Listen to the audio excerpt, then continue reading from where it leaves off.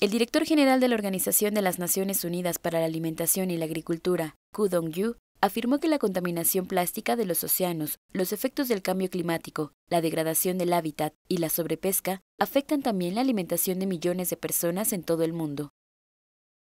El funcionario estimó que con una población mundial que llegara a casi 10.000 millones de personas en 2050, la Tierra por sí sola no nos alimentará, por lo que necesitamos también la producción alimentaria de origen acuático pero debemos hacerlo sin comprometer la salud de los océanos y los ríos.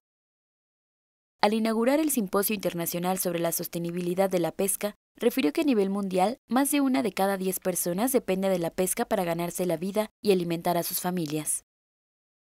El directivo propuso tres soluciones para hacer más sostenible la pesca. Primero, reinvertir en programas de sostenibilidad marina y de agua dulce, Segundo, invertir en el crecimiento de los océanos. Y por último, garantizar medidas de protección adecuadas para que el desperdicio alimentario en la industria pesquera sea menor.